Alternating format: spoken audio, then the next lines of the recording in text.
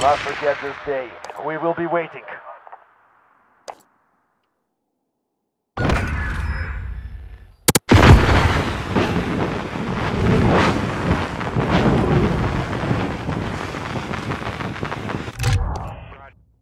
Fucking hysterical.